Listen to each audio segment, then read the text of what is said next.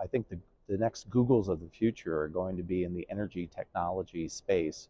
And here we are in Bengaluru. This is the Silicon Valley of India.